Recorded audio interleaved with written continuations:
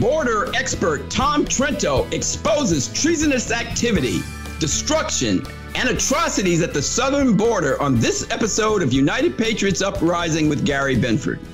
I'm your host, Gary Binford. Thanks for joining us. This podcast is available at radioinfluence.com or wherever you get your favorite podcasts.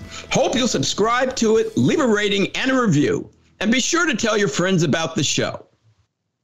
Treasonous activity? Destruction? Atrocities? Really? And if so, why aren't the mainstream media and our politicians on both sides of the aisle talking about and dealing with this? Sadly, they won't but my guess will. So let's get into it. He's a border expert, a highly skilled debater, and a dynamic public speaker who has earned degrees in law enforcement, theology, and philosophy from three different institutions. He's a co author of the book Sharia, The Threat to America, and a producer of the new 10 episode documentary series, Death County and the River of Broken Dreams the director of the United West and CEO of Defend the Border. I welcome to the show, Mr. Tom Trento. Tom, how are you? Hey, finally we get together, Gary. I'm doing finally great. your whole crew, you know, between Michelle Terrace, Tom Homan, and Van, everybody, you know, uh, the, uh, Clare Lopez, and I'm just waiting, and it finally got you uh, off the border long enough or out of wherever you've been to uh, get you in front of a, a microphone. And who knows? We you may get thrown off the air permanently after we do this show. Who knows? Well, you know what? If I haven't been thrown off yet, it's going to be hard considering the type of guests I get put on. But the type of guests I put on are the type of guests that in a country that has lost its mind these are the type of people that'll get you thrown off the air because you're going to speak truth. And uh, along those lines, before we get into the film, your organizations, and what you do, I want to bring the listening audience to the southern border right up close and personal. Please tell us two things about the conditions and situations there that Americans need to know about that they have no clue about. The two words that uh, all your listeners should um, get out of this is treason and um, destruction of uh, America. Um, this open border is a treasonous activity on the part of Biden. And uh, if it's not controlled, it will destroy America as we know it. It'll be a different country.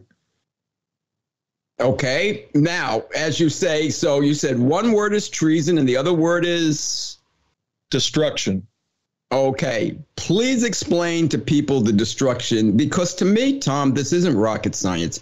If you leave a border open, anybody can come across. Little old ladies can come across. People that want to work can come across. But terrorists can come across. Drug lords can come across. Uh, disease can come across. Uh, everybody knows about the Trojan horse. You know, come on. I, I, and what I find interesting, they want to close us up, shut us down for you know their virus and all their little stuff. Yet they leave the border open. I, th- I thought they're so concerned about this virus and everything. Well, I'm glad we have a little time to, to work through this stuff. Uh, you you used two words when you started. Um, you said uh, lost their mind. I guess that's three words. Lost their mind, and you used the word truth. I wrote my master's thesis on the concept of truth, and unequivocally, if you follow the the canons of logic, Aristotelian logic, you can definitively without question conclude the left, the people supporting Joe Biden and his policies, have lost their logical mind. And what is it? What are the what is the upshot of that? Well, they're not dealing with a, a coherent and consistent framework of ideas.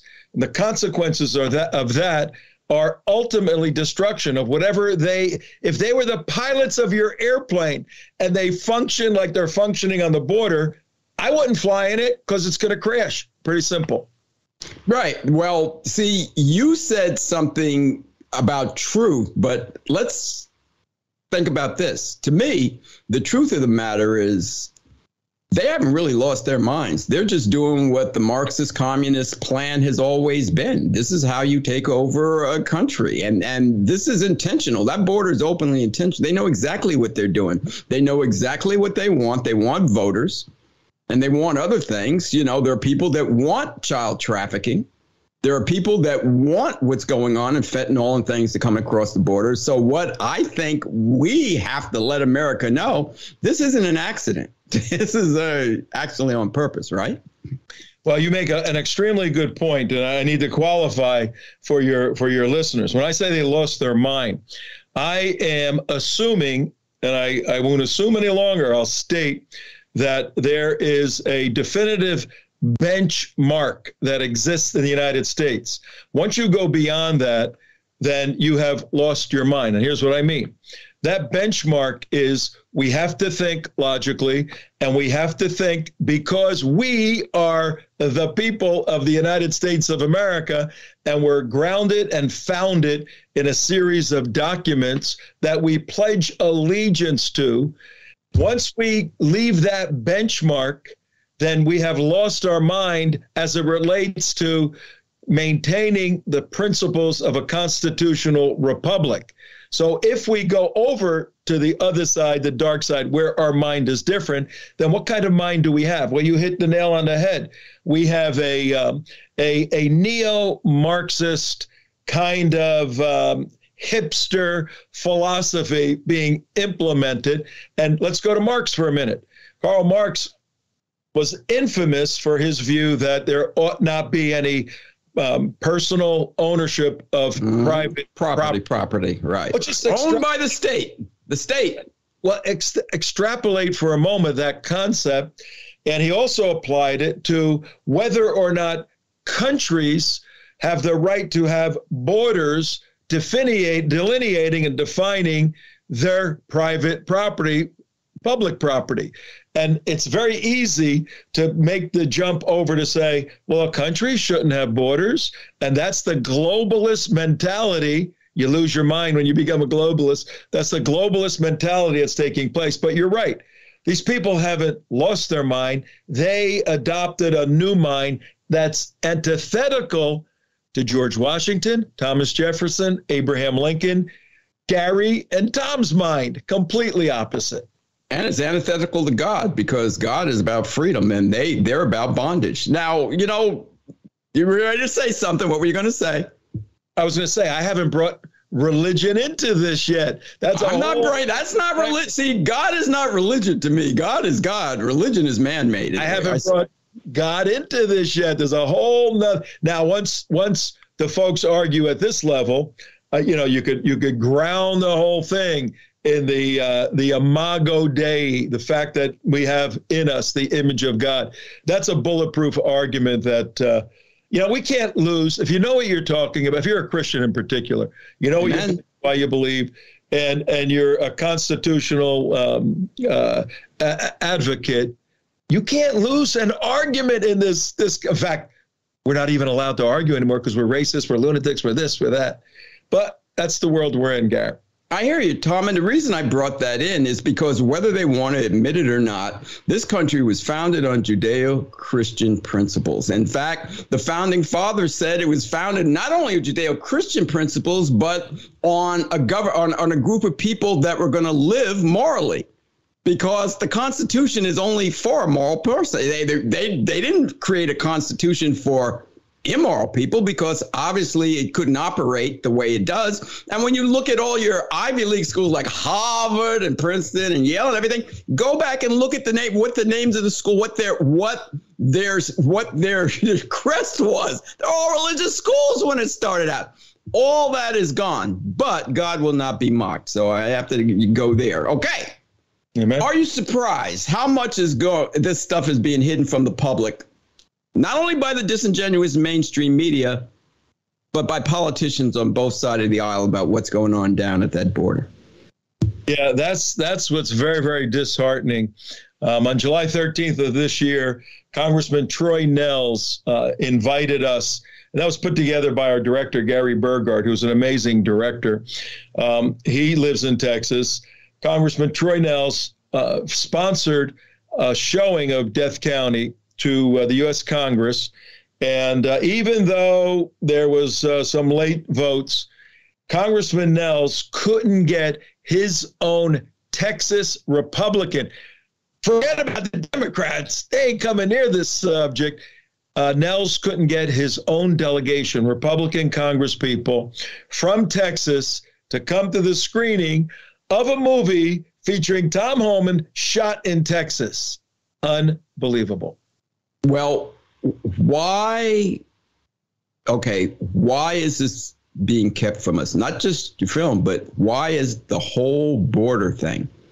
It's amazing that you watch and you look at the filming and you look Fox News and Newsmax every now and then all over the internet. You can see what's coming across. You can see what's going on. And it's amazing to me that we're allowing this. Why? Well, the Democrats have an epithumia, Greek term, a lust, what? an undying, mm-hmm. unmitigated desire for power. And um, they realize their, their political philosophy, their policies are not working. So they are adjusting they believe they found uh, the Achilles heel of the um, Judeo Christian conservative movement, abortion. And you saw what just happened in mm-hmm. Ohio mm-hmm. in a big rally. So they think abortion can defeat the Republicans. And you see it all over the all over the place. How come how come they're not using their political view of the border to ram and jam us like they are with abortion because they know it's a losing argument for them. I don't care who you are. When you look at thousands of crazy military age men running across, giving a finger to the flag, cursing, Viva Mexico, Viva Uruguay, you go, what is the, what the hell is this? And uh, the Democrats don't want to lead with the abortion, so they are in cahoots with the techno corporate world and the media and as a result i got i got a uh, the room i'm in the, the, alexis or whatever is talking. Shut up alexis or whatever your name is. Um, she listened to you. name? Huh? is it alexis? Plug in the echo device. Echo. Shut up echo. All right. There you go. Repeated echo. Um, so they're not hey, leading. Try try that with Biden, Harris, Pelosi uh, Schiff in the and yeah, you know, yeah, yeah. Judges and all these these crazy. Okay, go ahead.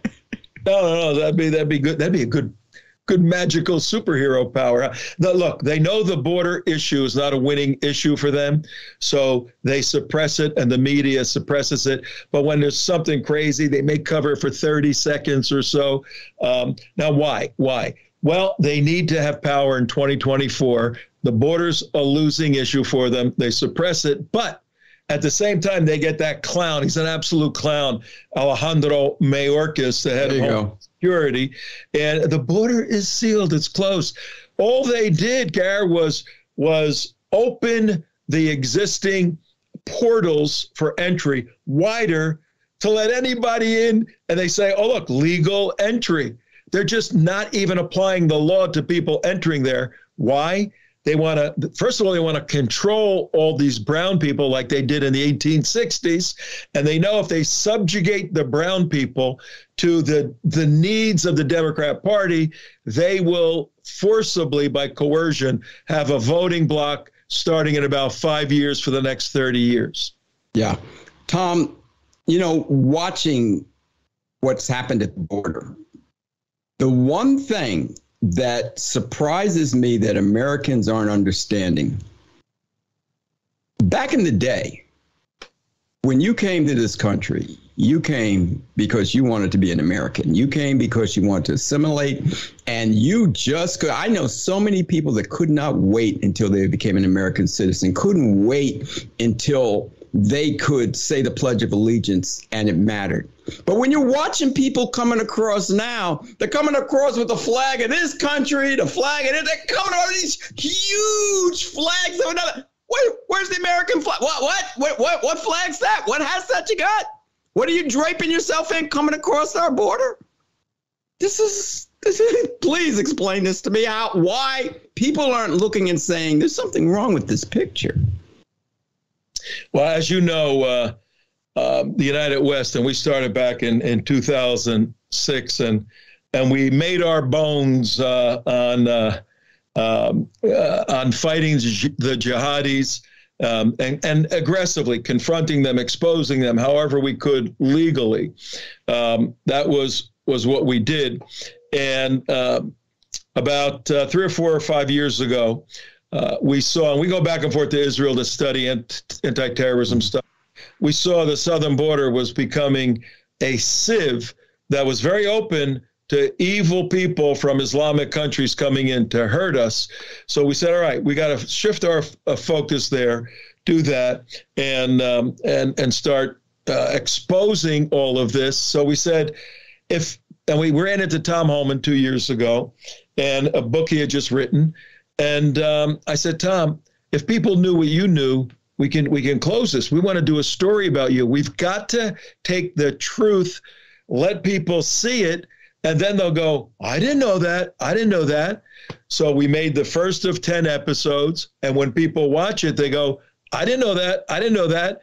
And then we enlist them in our grassroots movement to educate Americans to vote intelligently for pro border security politicians in November 2024. That's the comprehensive nature of what we're doing. But it went back to solving the problem of how do we tell the people that Mexicans and others are running across the border, waving their own flags, planting their flag, not to assimilate, but mm-hmm. to dominate in some capacity. There you go. So let's talk about that. Tell us about the making of the documentary, which you and your team produced uh, at Defending the Border and Save Lives, which is a nonprofit national grassroots project established to raise awareness, as you just said, about border safety through online and in person events and videos. Tell them about it because everybody knows Tom Homan's been on the show three times. Obviously, most people would know him as the former head of ICE, and uh, he's been very involved involved down at the border. And, and tell us why you thought his story would be something that would resonate with people and, and hopefully open a door here and close the border there. Yeah, it was, it was a, a providential. You, as a believer, understand the term providential. Uh, I was asked to speak at an event, Michelle Terrace's event, uh, September 2021, for the 20th anniversary of 9 11. And um, ironically, I contracted COVID. It is a real virus. Mm-hmm. Um, it was it had some you know crazy symptoms. Um, I got it a second time too. I was not vaccinated, and I'm so glad I wasn't. But uh, a month later, October of 2021, because I missed the September engagement, they asked if I'd moderate for Tom Homan, and um, I said sure. So he gave his presentation. I moderated. We hit it off. I got his book. I read his book.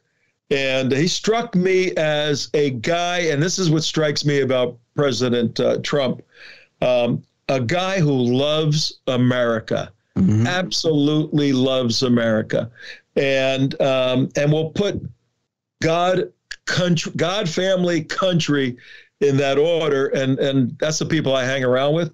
So I said, Tom, your story. You were a beat cop in upstate New York. New York, right? You got on the border and 35 years you you started working for president reagan. You worked for six presidents. Mm-hmm. obama gave you a award. Trump gave you a award. You got a hollywood movie star. Nah, you know him effing nobody whatever. I said we could we could take you man make you a star. And why? We don't he goes i don't want to be a star. I said your story needs your to be story right, right yeah. And I went and got my good friend uh, Chris, who's a filmmaker, and um, and we went down to uh, the Texas border for several weeks and Washington D.C. And the script was simple: an investigative report exposing Joe Biden's open border policies. So we cover uh, a whole area. Obviously, the the drug smuggling, drug trafficking. Uh, smuggling is taking an item from one country, bring it to another. You drop it off. Trafficking is taking an item from one country, Mexico, bringing it into the United States and making money from it. You, it's recurring revenue, and and we exposed in Death County and the River of Broken Dreams, the fact that um, the cartels, Gary, listen to this. This is crazy. The cartels were doing about a billion dollars a year in drug trafficking. Dump their fentanyl, uh, dump their cocaine, and boom, that drug is used up. It's gone. You got to put some more.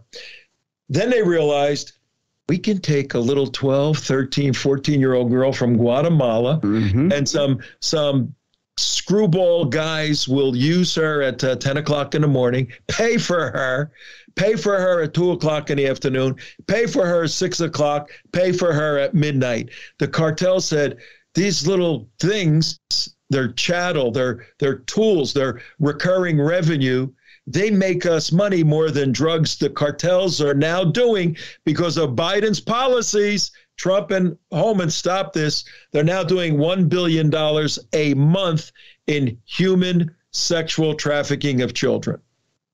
This is terrible. It, it, it's absolutely terrible that this is going on. And, um, you know, we had part of your crew on recently, had Clare Lopez on and She was talking about the rape trees, where, the, you know, if they rape people, they were hanging the panties on trees and stuff. And, and talking about it's a two way thing. Not only, you know, you're, you, you, that the story not only tells about the people that are coming in illegally, but the hordes that don't make it that are buried someplace. Uh, what what when you really started to get involved with what's going on at that border. What was it that you didn't know that you found out? Was there something that really, really surprised you about the, the horrific stuff going on down there? Uh, yeah, I was surprised. Uh, the the trip, one of the trips was uh, uh 2019, I think, to uh, uh, Cochise County in Arizona, um, Sheriff Mark Dannels, and I took uh, four or five of my guys, and we embedded with him for about a week, and um, and they they cover 83 miles on the border in Arizona, and we made a bunch of videos on it. Um, you have me standing in front of uh, you know the, the the big fence, the big wall, and looking at it and I go, there's nobody can get over this thing, man. This thing is gigantic. Nobody can get over it. Look, Trump even welded uh, sheet metal, you know, steel on top of it. And as I'm talking, I'm moving to the right. And then I go, well, maybe they don't have to.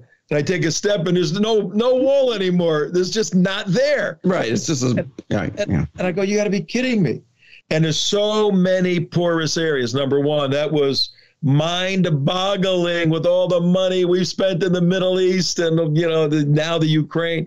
The other issue that jumped out was the innovative never die, never get up, fight the friggin' federal government, screw them, we're going to protect our people attitude of the border sheriffs as they innovatively created very amazing technique to catch these these guys and uh, either lock them up or deport them for good and, and keep them out of coming in their sectors. It was refreshing to see um, what, these good cops can do when the federal government is telling them not to do anything. I hear you. How dangerous is it? I, I, se- several people have asked me to come down there. Several people. Uh, I just got asked uh, recently Ann Vandersteel said, "Come on down." I'm like, I don't want to go down there. you know what? Mother Clare, you know, oh, come on down. We're down here. Yeah, okay, I'll see you there. Uh, no, really, all jokes aside, what? How dangerous is it? Well, because hold on before, because I, as I said, I've had a lot of people on who from different organizations who have been down there and they've talked about the bodies and the cartels and the machine gun, and the cartel and avoiding the cartels and the guys in the jeeps with the guns and all this stuff. Well, if you're in Long Island, uh, most likely you're going to fly, so you're going to have to go to LaGuardia or JFK or something. Where would you fly out of? I'd, I'd, i could fly out of Kennedy or JFK, uh, Kennedy or LaGuardia. Doesn't matter. Well, if you had a little extra time, you want to go to Manhattan for dinner or something. No, no, no. I'll, I'll just come down there because I, I love Mexican food. So, well, if you went to Manhattan for dinner, your life is more in danger in Manhattan than if you went with Ann Vandersteel on her crew with on her. Really? Oh, really? she's got she's got twenty guys with uh, heavy, heavy, heavy uh, weaponry around them. Whoa, whoa, whoa, whoa, whoa! What does that say? If you have to, I look. I used to be in the music business. I used to manage a recording artist, and I, I had contemporary jazz flautists and some R and B singers, and a couple rappers came and asked me to check them out. And I went to the Apollo Theater to, to a concert and I'm backstage. There are more guns back there than the police department. And I said, "This is not for me." if, if she's got twenty, what are you? Yeah, well, look, but yes, there are. You can't go walking alone at certain areas, day or night. Of course not. But um, uh, the trips that people are taking to show VIPs, like you'd be a VIP, um, there's there's very very little danger. Now, sadly, um, you you can't work with the feds because they they have prohibited that. But um, yeah, any of us can get you in with a sheriff's department, and you would travel with the sheriff for the day and do an interview and all that. You'd be very very safe, and you should do it. It makes great. Uh, it's a great interview. Okay, now that aside, how dangerous is it for people like you and Clare and Ann and Tom and everybody that's really got the boots on the ground? Yeah, if you're if you're screwing around at night, it's very dangerous. Um, again, certain areas, uh, daytime, um, not that dangerous because uh, you go normally to the areas that are under patrol. Uh, you don't go into the areas where there's 30 miles or 20 miles between patrols. That makes no sense to do that. You'll run into um, into people that are dangerous along those lines. So, like anything else, if I go to, I went to school in Chicago.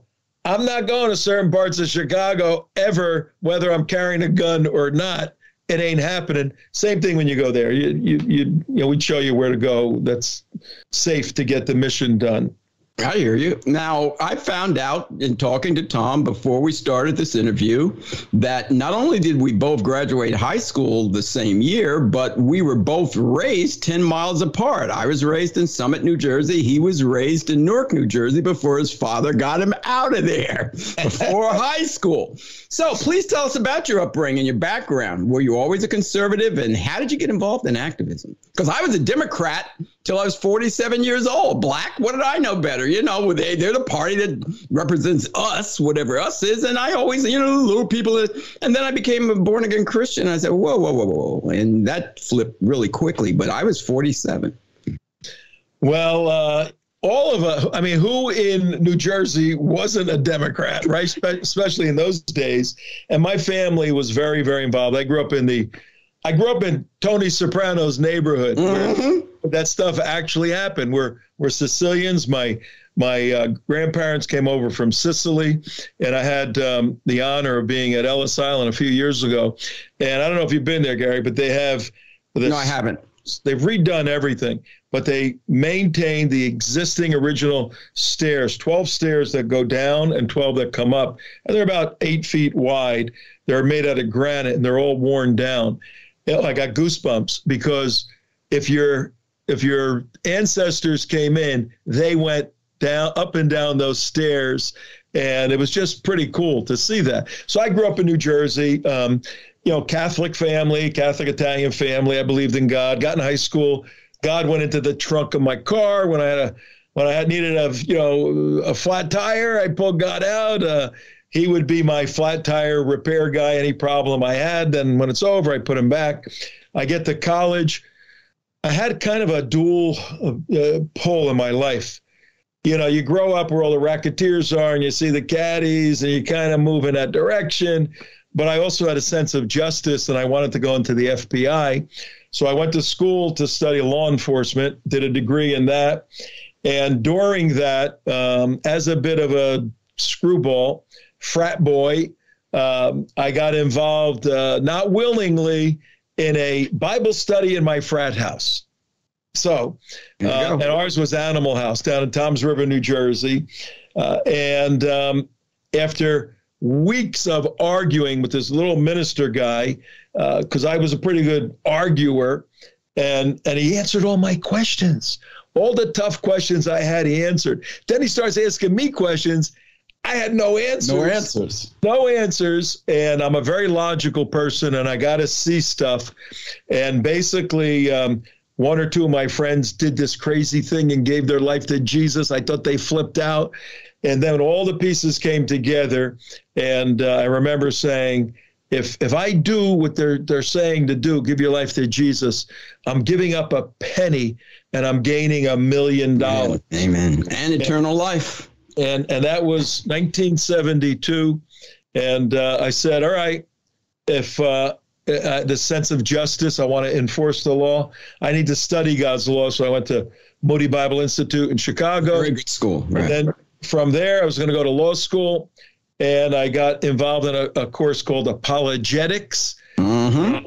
I went to seminary in Denver to become an apologist, and in in Denver, I started uh, a little Christian activism organization, 1980, and it's the same exact 501c3 that I run right now. All these years, I've been running the same thing. This is what I do. I fight bad guys and try to tell the truth and defend the truth of Jesus Christ. I hear you, and amen for that. And and and God bless you that you got saved. Uh, you beat me to the punch. You were 72. I was 1997. It took a while. You know, but but did people? Uh, certainly, before you were 47, they'd say, "Hey, man, dude, you got to give your life to Jesus." What did you say? Okay, I thought I had given my life to Jesus because I grew up in the quote unquote black church.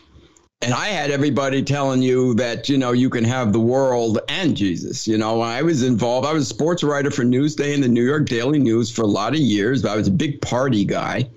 Uh, and I was a big, uh, and then I got in the music business. And, and I was you know, like you almost, you know, God, I, you, you put him in the, had him in the, in the, in the trunk of your car. Uh, you know, I had him when I went to church uh, on Sunday and then the other six days were mine, but that changed. But, uh, and the thing is, I think like with you and me, once once I really realized that I was lost and needed a savior, I really got immersed in it. But in fact, the greatest thing that I ever ended up doing was teaching Sunday school at a church out here in Syosset, age seven to twelve. It's, it's the it was the greatest. I did that for several years. It was the most gratifying thing I ever did, just to hear God on Sunday after those lessons say, "Well done, good and grateful servant."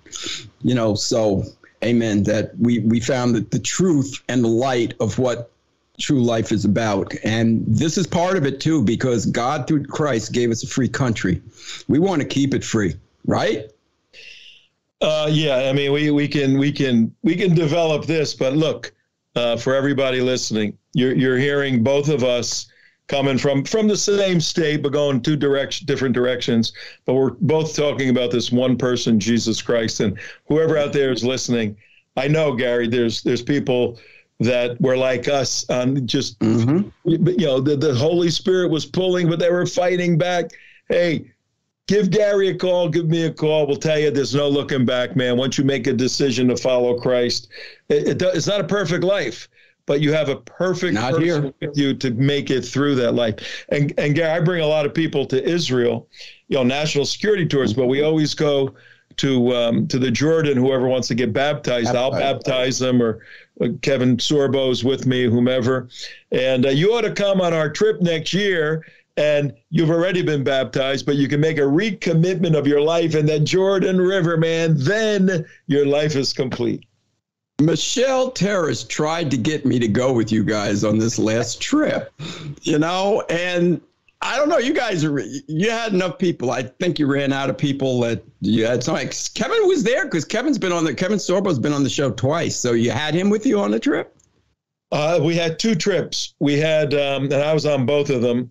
Uh, we had a uh, two week trip with only Christians, um, and there were 80 people. And Sorbo, he and, and Sam, Sam, right. they were the hosts. And then uh, then we had the national security one where Jexit, Michelle, and United West hosted. We had 50 people on that. Yeah, that was maxed out. Um, actually, 60 people. Yeah. We maxed that out. Well, uh, but there's next year, man. You come. Yeah, because I want. I really do. I want. I want to go I, I want to go and see where my Lord and Savior. I, I want to see. I want I want to go to the seas. I want to be in the area. I really want to see because see to me, I have gone every place that I basically wanted to go. Believe it or not, the one place when I was a sports writer, the one place I really wanted to go, I have no idea why I had a fascination with the Alamo. So when I finally got in San Antonio, got to San Antonio with the Knicks, um, and I go to see the Alamo, and I'm like, this is it because they didn't enshrine it. Of course, it's all broken down, and there's some cannons and Bowie's knife is in there. There's stuff around, but there was the Woolworths across the street. They didn't enshrine it. It's like on a street corner. I'm like, this is it. This is all I see. So no, I definitely Israel is is I don't know do a bucket list, but if right now, if you ask where would I want to go, that I still would like to do that. So we'll take that up again. Uh, Tom, before we go, and thank you for coming on and giving us this time, please tell people who aren't involved. Please tell people who are listening to this that aren't activists, that are just hardworking, God fearing, or people who love America, what they can do to get involved to try and help keeping this country from uh, this, what I would call communist invasion. I'm a firm believer that uh, education, uh, information, um, properly communicated, um, creates a movement in the in the brain and the the psyche and the soul of human beings, and that movement is uh, positive because they're going in the direction of that which is true. So if you provide information and it starts going into their brain, then all of a sudden they become self motivated. They don't need external motiv- motivation. Hey, go do something. Go do this. You don't do. They don't need that. They've been internally motivated by having an experience with that which is true. Then they're at a point where they go, "What do I do with this?" Now you have to activate them, and uh, and and there's nothing more beautiful than a person who has been motivated by the truth, who sees a responsibility to, to position them in an area that satisfies their spiritual gift and their desire to help other human beings. In this context, we have um, a comprehensive program. We have a man, Tom Homan. We have a movie, Death County in the River of Broken Dreams. It's about a county in uh, in Texas, 70 miles north of the border, where where people are dying every day mm-hmm. make that trek. The River of Broken Dreams, Rio Grande River, and uh, we have a movement. So the movement is once you get exposed to the material and you study and you talk with us, you want to do something. We sign you up and we're going to train you, educate you to uh, get involved in teaching others so that we have a pass fail on Tuesday, November 5, 2024. The goal of this whole thing is to elect constitutionally based pro border security politicians all over the place, particularly a president. Otherwise, we're doomed. So, to do that, go to our website, defendtheborder.org. Defendtheborder.org. It's the name of Tom's book. Watch the movie. It's right there for free. Death County and the River Broken Dreams. Join us, contact us. We'll be in touch with you. And if people can donate, that's great. We're a C3. We're looking particularly, Barry, Barry, uh, Gary, um, we're looking. A friend of mine, Barry, came on uh, these trips with us and died a, a year ago. Um, and you remind me of him, but you're right. Yeah, now you want me to come on the trip, right? Okay. you know what happened? It's very, very sad. Oh, uh, sorry to really. He, yeah. He, he, spilled out of. Uh, he died of a fentanyl uh, overdose. Believe it or not, very, very sad situation. But we're looking for individuals to be executive producers with us to put in money, and we'll take them on, on the border and make them part of the whole movie. And uh, so contact us at uh, defendtheborder.org. Thank you very much for that. And before I ask you to tell people about United West and, and Defend the Border and where they can reach you, you brought up a, one question I wanted to ask before. And you can address this for the American people, because to me, this is a duh. Don't the American people realize that the very people that want open borders They have borders around their places. Nancy Pelosi has a border around hers. You know, you have Catholic Charities helping bring in all, they're helping place these people. There's a border around the Vatican. There's borders around. They all live in gated. Oh, but we, no, no, no, no. You got to have that. Don't people see the hypocrisy of this? That goes back to how we started this, where they lost their logical mind and they do not see that they're violating their own viewpoint. I have a good friend down here. He's almost 90 years old. He's an activist, South Florida, and he goes to these gated communities. He actually put a form together and passed it out where uh, it, it, had all the residents um, signing. Nobody signed it, but it said, we want to be a community supporting the global movement. Therefore, we're going to we're going to take the front gate down to our gated community and remove it. We're going to invite the world's community into our gated right. community. We're opening our clubhouse and our swimming pool to anyone who wants to come in. He tells all these people to sign this thing. They go, "You freaking kidding me? Are you nuts?" Then he goes, uh, "People, what do you think you're doing to our border?" Mm-hmm. And, and he created an existential crisis. And the people go, now you would think an honest person will go, you know what? You got a good point. I need to rethink my view. They just say, F you, you're a racist. He's a Jewish guy, right? You're a racist, you're this. That's how they lost their logical mind. And look, we, we have two countries within America right now. Gary, I think everybody sees that. Biden gets reelected again. We're going to have a bifurcation of this country that is going to result in uh, trouble, dark trouble on the southern border, because those border sheriffs and those border communities are not going to allow Joe Biden to bring seven more million people in. There's going to be problems and bloodshed down there. People trying to protect America when the federal government. We got to we got to move. We have to be victorious on the 5th of uh, November 2024. I hear you, Tom, and I'm going to take a shot at this. Is your 90 year old friend, is his initials SS?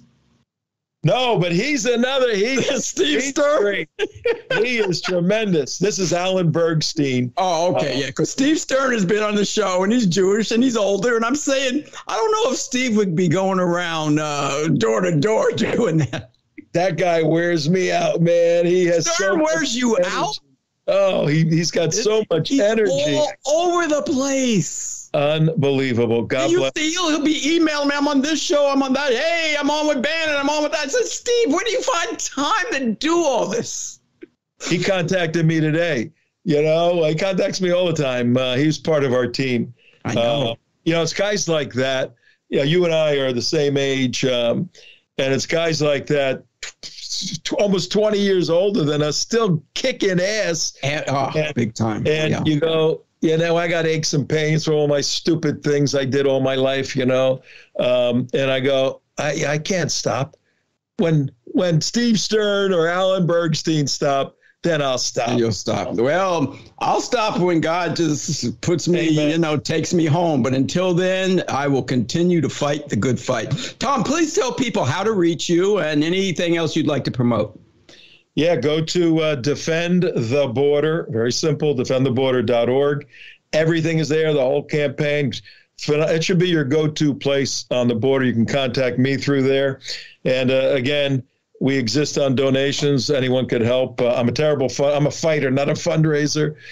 but um, and shows like this. I mean, you you you've been doing for a long time. Phenomenal. Just three years. Just three years. Well, you know, um, three years. I've had a hundred. I've been blessed to have 125 high-profile guests, and you know who some of them are in yeah. three years. It's a blessing. Yeah, yeah. No, no. You you're doing amazing work. Um, well, thanks. And Clare, Clare, you, you got to get on Gary show. You got to get. On. I said, yeah, yeah, yeah. I know, I know, I know, I know. But I'm glad we did it, man, for sure. I am too because I, everybody, Michelle Terrace, Clare, everybody, you know, has been saying and and you know, timing's everything. So I'm glad you came on now because this is a good time, you know, because a lot of people are starting to wake up and realize, hey, I don't I don't like what I see. You know, because they've had two and a half years of this stuff for a little bit more, and, and it's starting to the stench is starting to go up the nostrils. I, I hope I hope this is going to lead to the right voting. Of course, if we can keep the election from, uh, uh, you know, the election integrity that issue, and when we bring you back, we could talk about that. I'll make you one uh, uh, one offer. You ready for this? I'm listening. Next time I go to Jersey, and I go, you know, once or twice a year. I still have relatives up there. Um, uh, I'll call you. You meet me on Bloomfield Avenue in Newark, in the old neighborhood. Uh huh. And um, my my friend, whose father had his store, is running um, uh, Bloomfield Avenue and Sixth Street. Dickie D's. Uh, you can look it up. Dickie D's, the best Italian hot dogs in the world, the best ones. We'll meet there. I'll buy you lunch at Dickie D's in Newark, New You Jersey. got it. But I, when you said the best Italian, I thought you were going to say cioppino because I'm a, I, I love Italian food, but I'm a cioppino, you know, lobster, shrimps, clam, mussel, and a garlic sauce. I thought you were going to hit me with some real, but you got to hit me with a Jersey hot dog. But that would be cool. man. I'm down for it. Okay. We start there. We start there. You got it. Hey, tell the Uh, crew I said hi and thank you for coming on. Everybody, Tom Trento.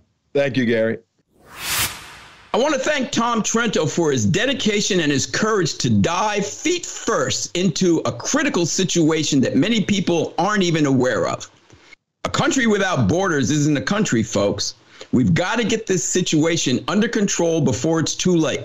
So thanks again to Tom and his crew for what they do and their willingness to put it over the airwaves in the hopes that we, the people, will listen, rise up, and handle our business. This podcast is available for download at radioinfluence.com or wherever you get your favorite podcasts. Hope to subscribe to it, leave a rating and a review, and be sure to tell your friends about the show. If you're a first time listener, hope you'll check out the podcast archive located on the page. All previous episodes are there featuring high profile guests, including Kevin Sorbo, Kari Lake, Morgan Brittany, Diamond and Silk, Tom Homan, Clare Lopez, Ann Vandersteel, Michelle Terrace, Lieutenant General Michael Flynn, Monica Crowley, Ben Carson, Judge Jeanine Pirro, Herschel Walker. That's all for now, friends. Thanks for joining us. So until the next time, this is your host, Gary Binford, saying God bless you, God bless your families, and God please bless America.